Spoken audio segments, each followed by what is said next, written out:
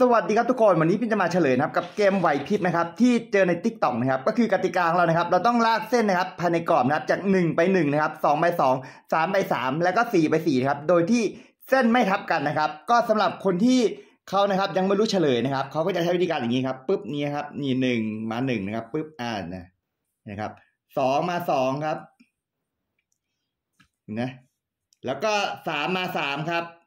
อะคราวนี้เห็นไหมครับว่า เขาจะมาสี่มาสี่ไม่ได้แล้วเพราะว่าตรงนี้นะครับมันติดว่าตรงเนี้ยเส้นมันจะทับกัน โอเคครับ เรามาดูเฉลยนะว่าเป็นยังไงกันบ้างนะครับ เฉลยนะครับ เราจะใช้วิธีการนะครับ ลากจากนะครับสามไปสามก่อน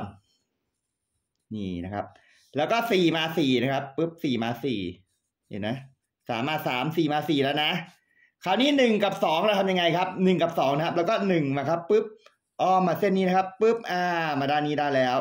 สองนะครับเราก็จะปุ๊บนะครับปุ๊บมาผ่านทางนี้ตึ๊ด